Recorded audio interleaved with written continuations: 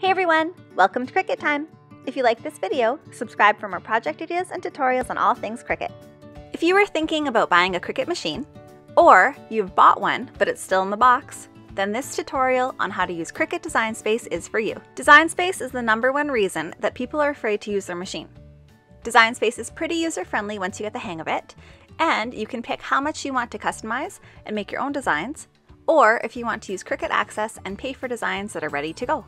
To use your machine, you just need to install Cricut Design Space on your computer, your phone, or your tablet. When you first open Design Space, you will come to this home screen. Today I'm going to walk you through the tools in Design Space, so just click on a new project. I'm going to walk you through the buttons that you can use to make your own projects. The first button creates new blank projects. Next is Templates. This helps you design your project with an idea of where your cut lines and your layout will be. They have templates for everything from banners to shirts. Under that button is Projects. These are ready-made projects, sorted by theme or type. You can just click on the one that you like and press Make It. The prices for each project are listed when you click on each one, or they're free with Cricut Access. The next button is Images. You can type in what you're looking for, and you will get lots of choices on different images that you can use. Some are free, and some cost a dollar or two. I'm going to skip text for a second, and we'll get to that in a minute. Next is shapes. There are a few shapes to choose from. Just click on one and it will show up in your canvas area. There are four buttons around the shape. This one is to rotate it. The arrows are to resize bigger or smaller. The lock keeps the shape the same. And if you click and unlock it, you can stretch or change the shape. And the X will delete it. The last button on this menu is Upload. If you purchase a design or make your own in another program, you can upload it into Design Space here. Today we are going to make our own little summer sign. So we will start with the text button. Click on it and type in what you want to say. You can change the color with this button, and beside you can choose your operation. The default is to cut everything out, but if you want to change your blade or switch to a pen, you can do that here. You can change your font, and some are free and others are a fee unless you have Cricut Access. The style button only works on some fonts, where you can change to bold or italic, and others like this one you cannot. Every font has different spacing, so you can use this button to get it just how you like it. If there's more than one row of writing, you can use this button to adjust the spacing height.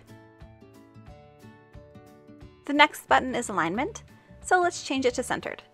This button is advanced for ungrouping letters, so let's just skip it for now, and I'll talk about ungrouping in just a minute. The edit button is for basic operations like copying and pasting, and offset here adds an outline. You can choose how thick you want the outline to be, and if your corners will be rounded or square. You can change the color on anything in Design Space, so let's just change the colors to make it a bit easier to see. Over on the right, these are the different layers on your design. Whatever one is at the top you can see. If part of your design ever seems to have disappeared and goes missing, just try grabbing it and moving it to the top of this menu. This button is to flip your design. You can choose horizontal or vertical, and over here you can also type in a number value for rotating it if you're trying to get an exact angle. Most of the problems that people tend to have with their Cricut in the beginning are with font, specifically script fonts. So let's switch to handwriting and I'll show you a few things that you'll need to remember. This font seems to be kerned already, which just means that the spacing has been adjusted right so that the letters are all stuck together. But not all fonts are like this. Often you will find that they show up more like this, where the letters are all apart. Just adjust the letter spacing so that most of the letters are in the right place, and then press Ungroup. Your Ungroup button over here on the right hand side will change your phrase into individual letters.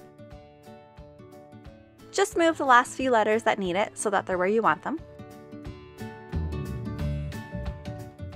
And if I stopped here and went to make it with a machine, you can see that all these letters are separated. If this happens to you, just click cancel.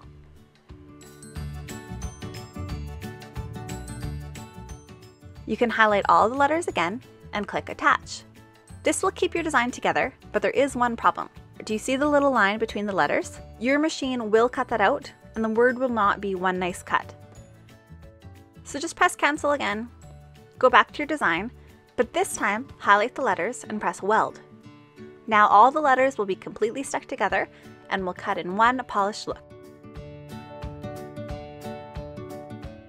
Let's go into images and grab a sun so I can show you the last major button you'll probably want to use. This design has two different layers. The yellow in my writing and the yellow in the sun are different, and I wouldn't really want to cut both of those out of vinyl. So let's just click on this layer and change it to the same yellow as our writing. So the last button I'm going to show you is contour. You use contour if you want to change part of a design, and you can just take out the parts that you don't want. So click on the picture that you want to change, then down at the bottom click contour. And now you click the parts that you want to remove, and then click the X. And just like that, these parts are gone. Now you can just turn and reposition the sun how you like it. Well, there you have it. That was a quick crash course on what the buttons do in Cricut Design Space and how to use them. For more videos on how and when to use weld, attach, group, and contour, you can check out some of these other tutorials where I walk you through them in detail. Thanks for joining me today, and if you like this video, don't forget to hit the like button and subscribe for more project ideas and tutorials on all things Cricut.